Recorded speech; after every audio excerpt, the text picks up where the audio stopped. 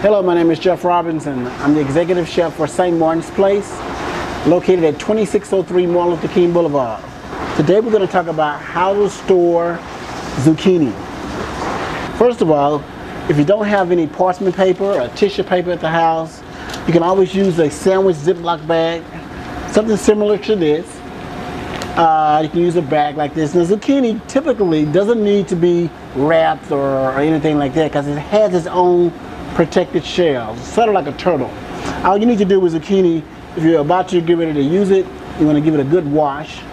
But like anything else, the more you preserve it, the longer it's gonna it's gonna last.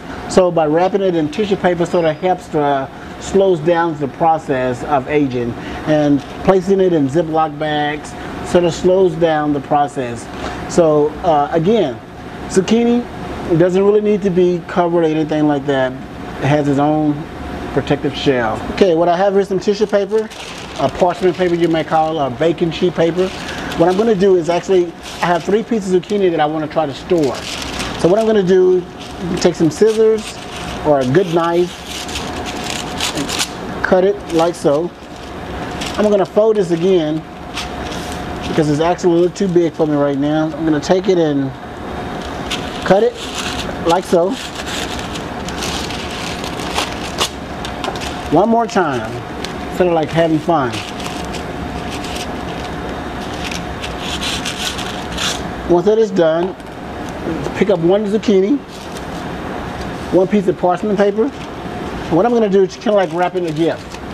Take it, wrap it, kind of cling it around like that.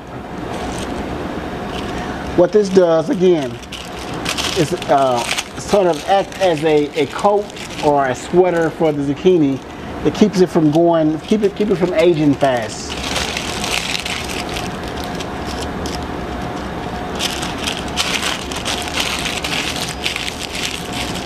Okay, you don't have any tissue paper. Everybody keeps Ziploc bags. You don't have to use the paper. Take your take your uh, take your Ziploc bag. Open it up. Place your zucchini inside.